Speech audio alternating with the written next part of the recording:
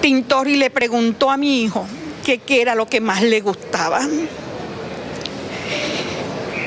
Y él le dijo que la Nutella. Y ella le dijo que si él le daba, si él le daba al guardia con la con la botella esa que le habían puesto en la mano, que era, él me dice que era como una botella con gasolina y un, y un pañito, un trapo, no sé. Le regalaba una Nutella. Dijo, ves, corre con el primer grupo y te doy la Nutella.